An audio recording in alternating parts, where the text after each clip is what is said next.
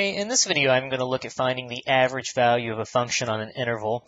And as far as stuff that you see dealing with integration and calculus course, I would say this is probably one of the more straightforward things to do here. So the formula to find the average value of a function f of x on the interval a to b, what we do is we just take 1 over b minus a, so 1 over the length of the interval, and then we multiply that by the integral from a to b of f of x dx. So typically when you see these problems, at least when I saw them, there really wasn't a lot more to doing these problems than just using that formula.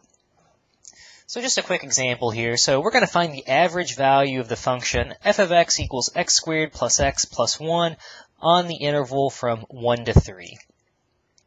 So a lot of times they just write it abbreviated as f av, so, you know, obviously the average value of F. And what we do is we just take 1 over, well, in this case, A, or, our A value is going to be 1, our B value is simply going to be 3. So we'll take 1 over the difference, 3 minus 1, and then we integrate from 1 to 3 of our function. So we've got x squared plus x plus 1 dx. And that's now all we have to calculate here. So, well, 1 over 3 minus 1, that's just 1 half.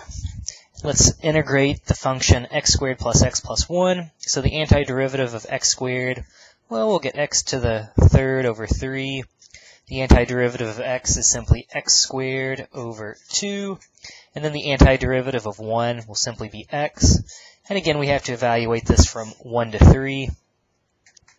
Okay, so now it's just sort of plugging and chugging. So if we substitute 3 in, we'll have 3 to the third divided by 3, which is 3 squared, or 9. Plus, again, if we substitute 3 in, we'll get 3 squared, or 9 over 2. Then we'll add to that 3. So there's our upper limit of integration. Minus, uh, let's just substitute in the lower limit. So if we plug in 1s, we'll just have 1 third plus 1 half plus 1. And again, now it's just a matter of simplification. So let's see. Um, if we take 9 plus 3, that's 12. And if we subtract 1, 12 minus 1 is going to leave us with 11. So that takes care of those terms. 9 halves minus 1 half, that's going to give us 8 halves. And, well, 8 halves is just the same thing as 4. So that'll take care of those two terms, and then we simply have minus one third. Okay, so let's see. 11 plus 4 is 15, so we would have 15 over 1 minus 1 third. So if we get common denominators, that's going to be 45 over 3 minus 1 third. So that's going to be 1 half times, well, 45 thirds minus 1 third. That's just uh, 44 over 3. And 44 divided by 2 is going to leave us with 22 over 3.